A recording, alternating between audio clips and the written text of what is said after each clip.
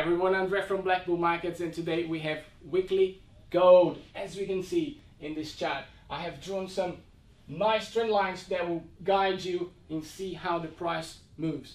And due, due to two news events that happened last week, we had the FOMC and also Jerome Powell's announcement. We see that gold was one of the biggest movers last week. Now, upon looking at this chart, we see prices have come a long way from 16, uh, 1664 to all the way to 1900. Now, as we see in this chart, upon touching that level, we have a massive rejection and price have dropped significantly.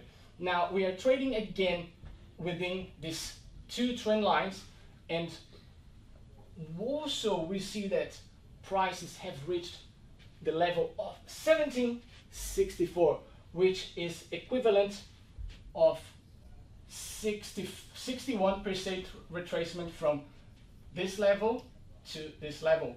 And this is a strong area of rejection. As we see, prices already start moving up upon closing the day today.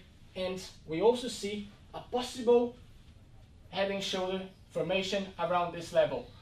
So now moving to a four hour time frame,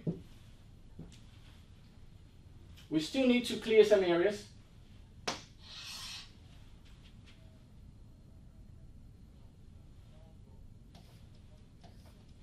So breaking that level, breaking this level of 17.99, we can see prices could perhaps continue to move up or we will still consolidate within this zone for a few days, perhaps a few weeks, and then we'll decide to whether move up or down. Stay tuned, trade consciously.